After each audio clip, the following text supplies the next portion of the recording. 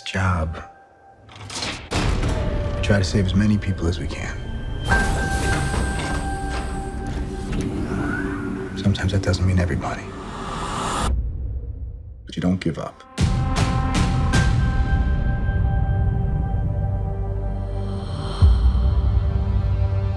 New York. Washington, D.C. Sokovia.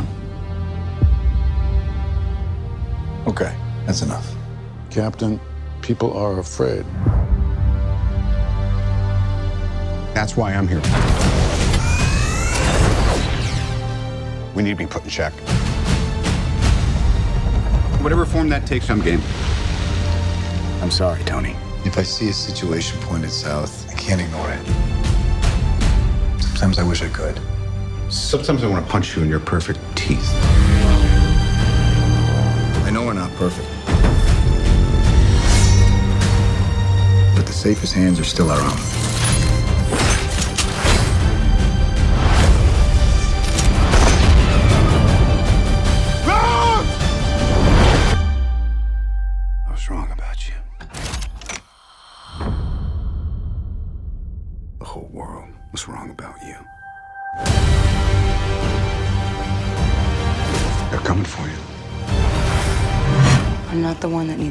Their back.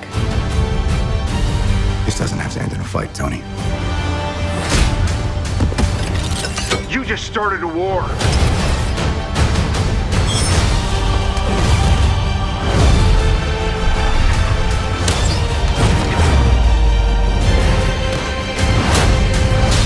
Stay down.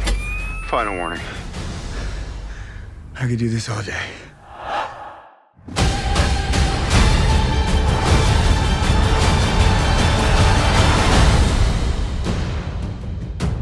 All right, I've run out of patience. Underoos!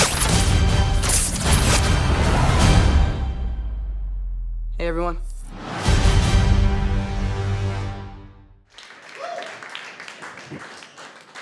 Guys, seriously. We got Hawkeye. All right. How you guys doing?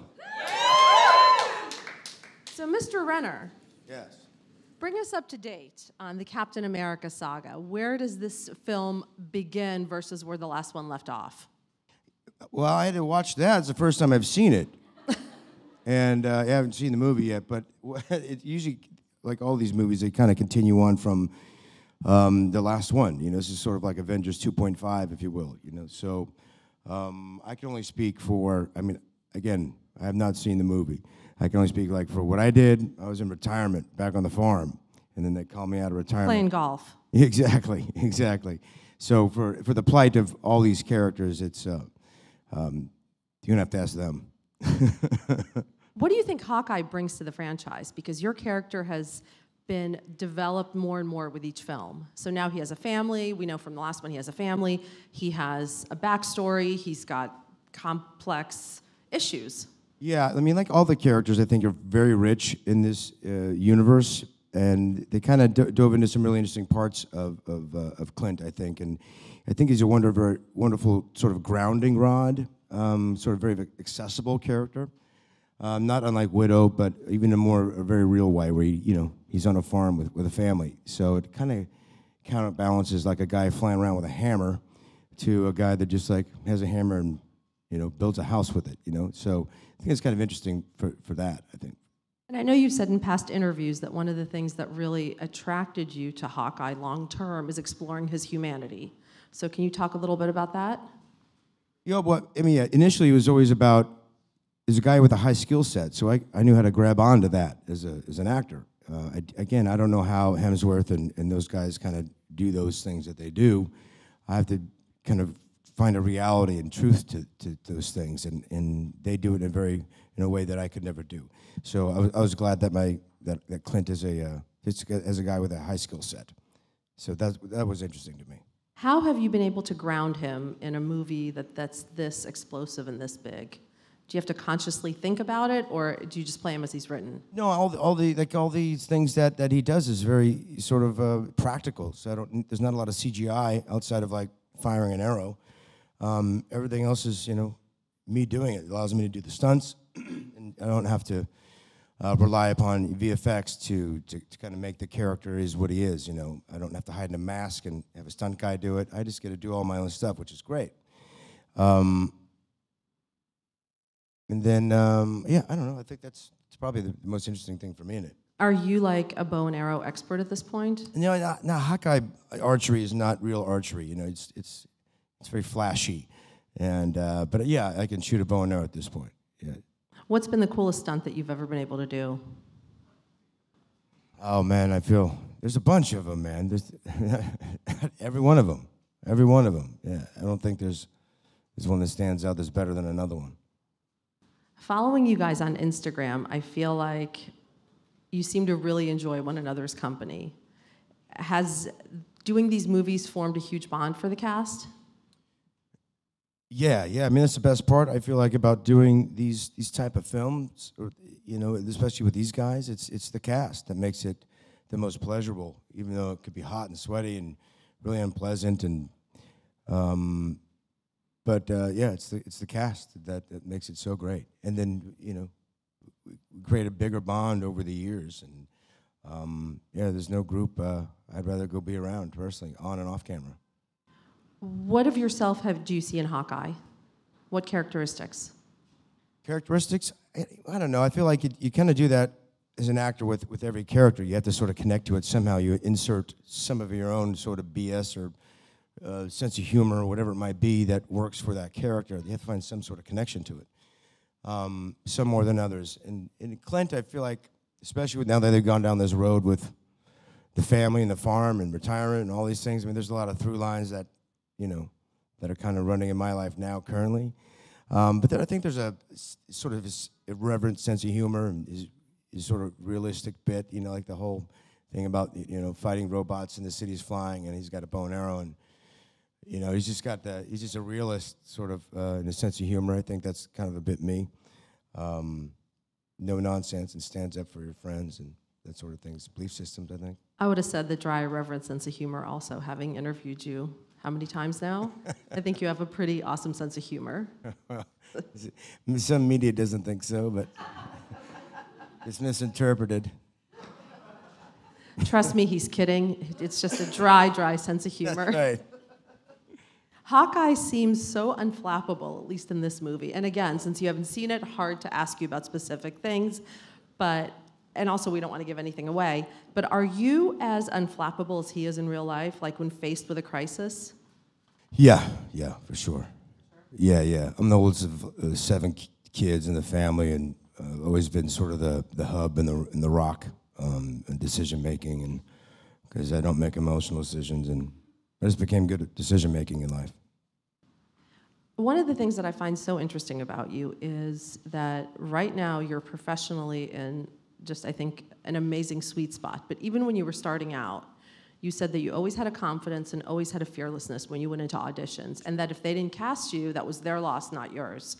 How did you come about that? Because so many actors have the opposite approach, where they take it personally, they dwell on it, they internalize it. You know, I, I've thought about that many times over the years as I've, I've, I've talked to my little brothers and sisters and I think confidence in, in anything we do is, is a very attractive quality. I feel like I've been attracted to people when they're confident in what they do. Even if they make a mistake, at least they're confident know they can find a solution to make up for that mistake.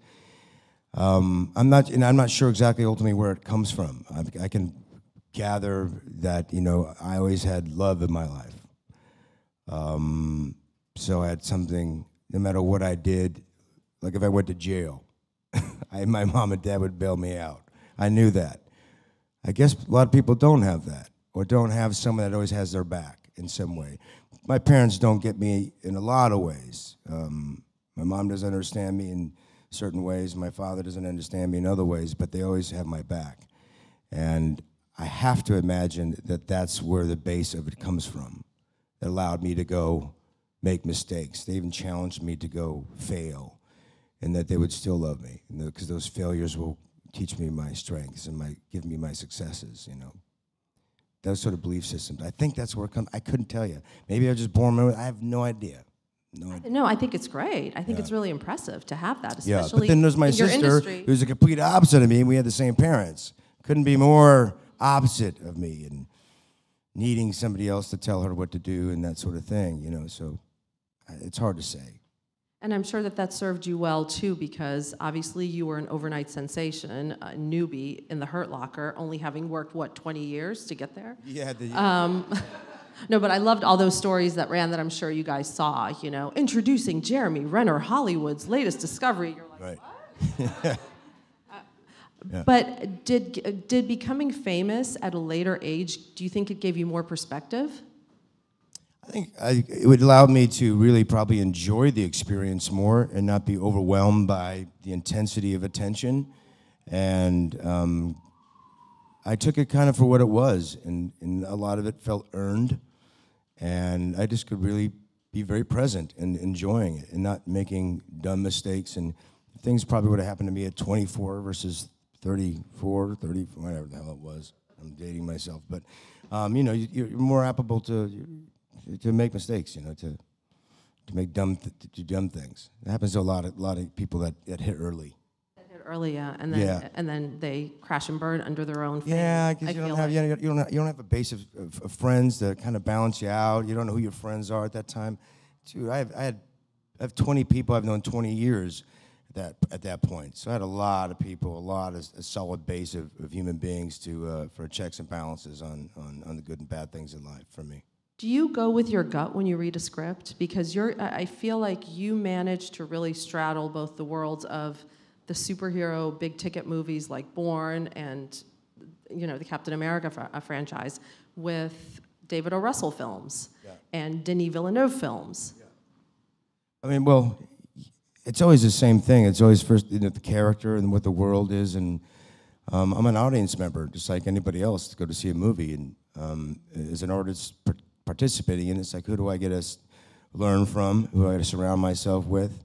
And um, you know, what's the world is the, the most interesting thing first, because I feel like there's only 12 stories to be told um, from Greek mythology, and then we just retell them in different ways. So, what's the world like? like Hurt Locker is a really good example. Again, there's not a lot of story in that. That's just characters living in this really interesting world that people just happen to be current and at the time, and blah blah blah blah. So that's kind of what I look for. And then you know, how do I learn and grow? Otherwise, I don't really want to repeat, repeat something. What film that you've done have you uh, grown the most from, do you think, in retrospect? Uh, I mean, the Hurt Locker was a big one, for sure, because you know it was, just a little white boy from Modesto, California, thro- thrusted into the Middle East during you know a really interesting time in the Middle East. Um, so I learned a lot more as a man than I did as an artist. Um, but that, yeah, that was a that was a big one. And then having you know Kathryn Bigelow, uh, you know, is our champion. It was she was uh, tremendous. I love her to death. So yeah, that was probably the biggest one. And what about as an actor? I think it's every job. Learn, you learn, you know, when you learn work with great people, you learn different things every time. And as soon as you think you know the answer, then you're already wrong. I think. So just, I learn with every job. It's it's the greatest part of of working in this, at least for me, or at least my perspective in this industry. If you could sum up one thing that you've taken away from the Avengers experience, what would it be? And you can't say your action figure. Um, I think it's, uh, well, I think friendships. I think that's the biggest thing I took from uh, this whole Marvel thing is friendships, for sure. How has being in the franchise impacted your career in the sense of the choices available to you and how you choose your projects? Well, you know, now you have five-year-old kids kind of running up to you. That's kind of great. You know, that's usually they'd run away from me from the, having half the movies I've done, or they can't see it, or this terrifying resting face of mine. Um, but um, yeah, I think. See, I told you in- guys in a you had a very, in a, in a very kind of you know global way. You know, kind of everywhere I go, it's it's you know you're kind of welcomed by kids and that that is probably the coolest thing that could ever happen to to me i think that is just and then they're usually their creepy parents are dressed up as, as hawkeye or captain america i'm like okay you just ruined a really beautiful moment with your son and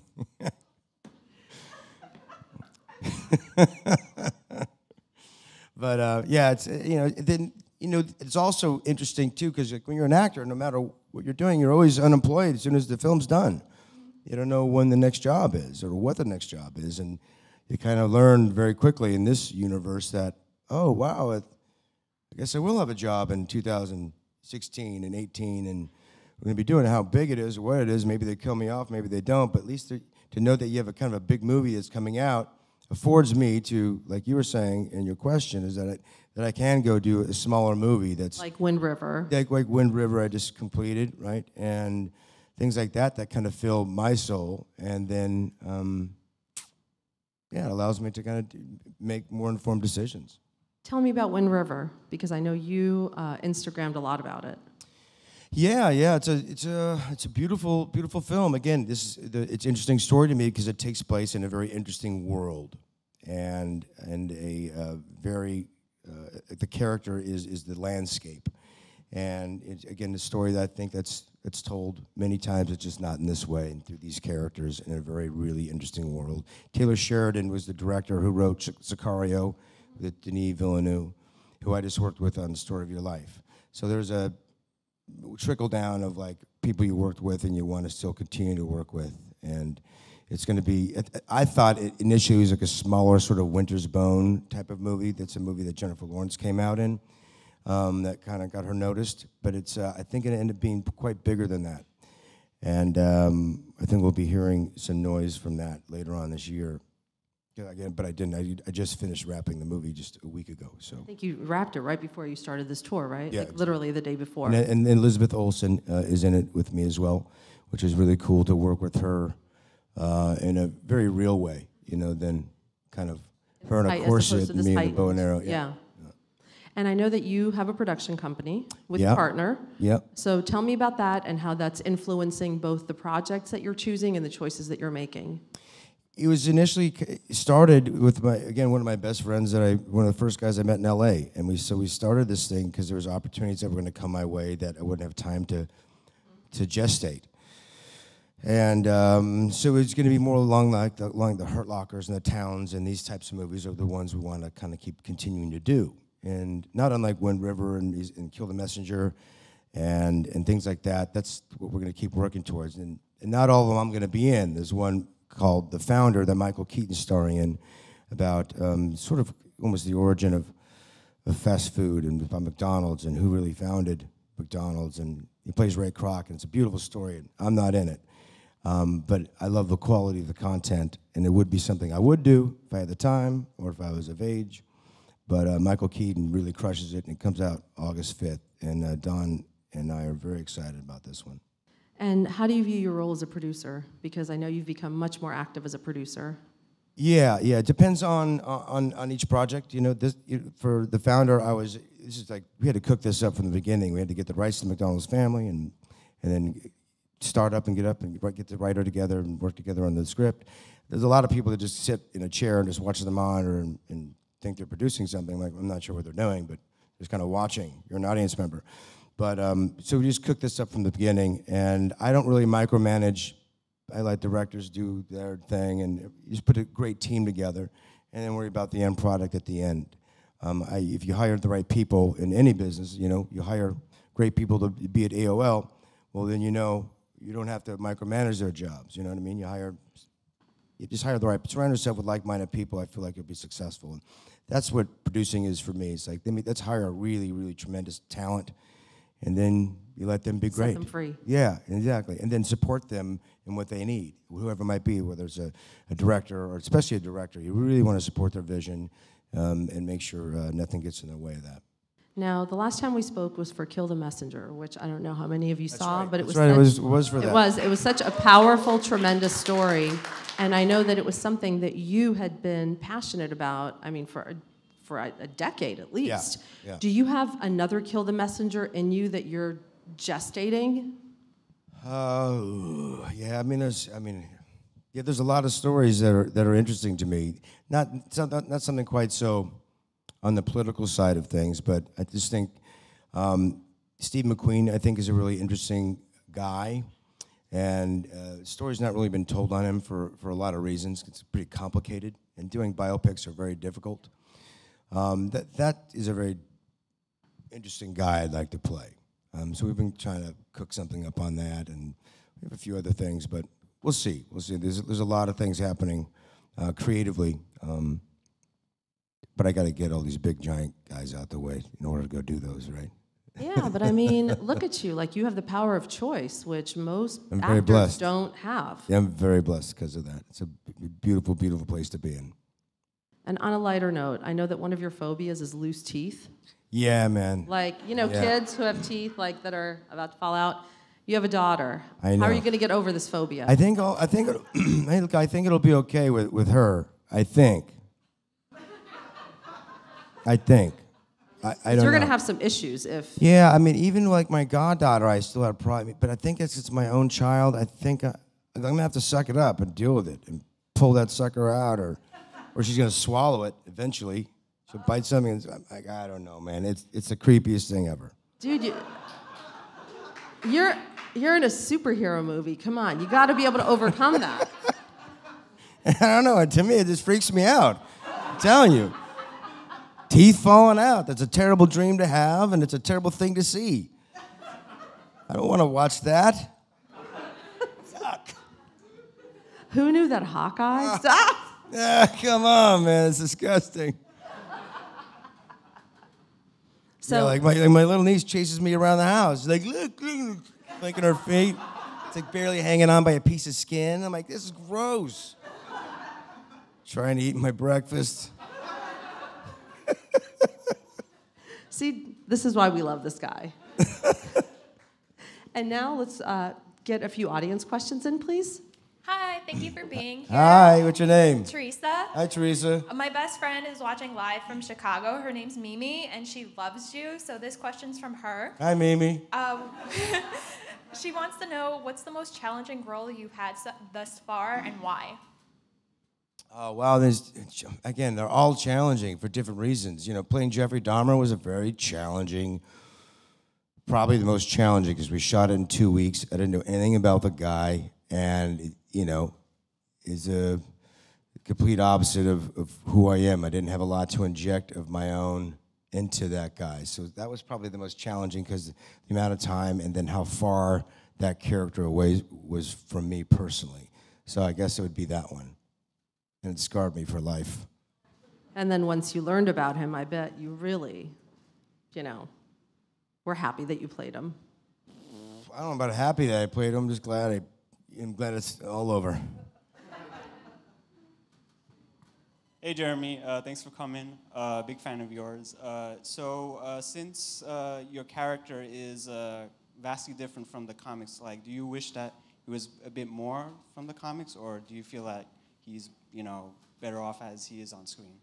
You talking about Hawkeye? Yeah. Um, well, look, they, they, they, I don't write this stuff, okay? I, all I got my job is to make truth out of all of it. And I think they're using more of the ultimate sort of version. And again, I, I, I can't, I'll speak out of turn because I don't really follow the comics. I'll, I'll stay true to what is given to me in the scripts and let those guys know eh, because like the Russo brothers are huge fans. Joss Whedon, eh, I, see, I think, sits at the throne with Kevin Feige of, of this universe, and I'll let them make those decisions, and I'll just inject the truth into it. Um, that's all I can do, you know. Next question, please. Hey, Jeremy, man. Where'd you Hi. go? Hey, what's How's up? go- How's it going? Uh, kind of to piggyback off your answer, I was wondering if your approach changed at all since this is your first Russo brothers movie and your first time working with the screenwriters.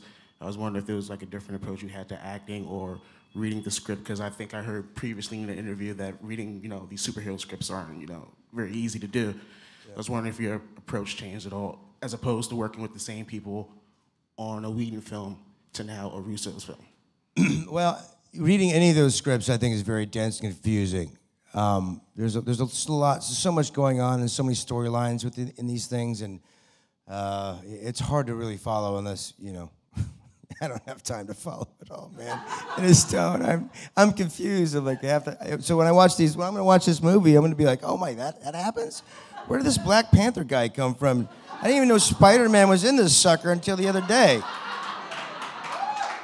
So I like to I like to keep it that way, so I can you know be a fan when I watch these things like everybody else. You know, uh, I do my part. So I I trust in again people that know what they're doing, and like I said to, to, to the other guy here, it's all I let them let them puppeteer all that stuff. I got to inject truth into this thing, and I care about the relationships that I'm involved in in these movies. I care about the truth the, the, uh, of Hawkeye, and that's the most important thing to me. The more relationships there are, then that's what matters. Also, that's why I, th- I think fans like. I think that's why this is going to be a giant movie, um, because the relationships are, are, are, growing and deepening and, and, and splintering. Um, but in the difference between Joss and Russo brothers, I, you know, it's a very different thing. You know, it's Joss is very, very particular, knows exactly what he wants, and the Russo brothers know what they want, but they kind of vacillate in, in the humor and they just let you just do random takes. And if they feel like you're good at one liners and sort of thing, oh, okay, let's, uh, by committee, try to make the best, best thing possible. And, um, but it's great. I'm excited to go uh, jump into Avengers 3, 4 and see what happens. And we have time for one final question, please. Hi, Jeremy. Oh, here you are. Yeah. Hi. With all the stunts that you've done on set, have you been injured? And I wanted to know, would you be willing to explore Clint's character in a Netflix series? Um, injuries, I've no, I no, never really had any. I mean, you get banged up a bit. Usually, I get banged up in the in the stunt gym. Um, it's usually like hand to hand fighting, things like that. Um, where you get contusions, golf ball size, sort of. Yeah, nothing, nothing really that big. I never. They usually usually all the stunts are very prepared. The ones that look very dangerous are so well prepared and worked out that it, it's almost hard to, to, unless something goes wrong, a cable snaps and then you know there's a real accident. But uh, knock on wood, I've never had that problem. The real, I think the, the, the most difficult thing to do on camera is run. And, and it's the silliest thing to, that you think of, but you get because it's easy to roll an ankle if the ground's uneven. You're trying to look at the camera and do the. It's really easy to roll an ankle, and guess who's not even walking for the rest of the day, let alone just running. So all the stunts and flips and random things, you're on a wire, there's a pad, or not always a pad, but either way, yeah. So I don't get injured. Don't get injured, luckily. And then Netflix series and Hawkeye, I don't know. Again, that's these aren't decisions to, to make of mine. You know, there's they just aren't. Like I don't I don't even think I get to ask what I'm gonna eating for lunch today. It's just like here, here's your sandwich, eat it. I'm like, okay, what's next? You know, I'm like What's next? That's just not my life. what's next is that this opens May 3rd. It does? It does. It's May 3rd? It, for real. Oh, I thought it was later than that. May 3rd. May 6th. Oh my God. See, I, you're wrong. I'm Oh, wrong. I stand corrected. May- May 6th. 6th. So thank you so much for being here. Thank you. Thanks for having me, guys.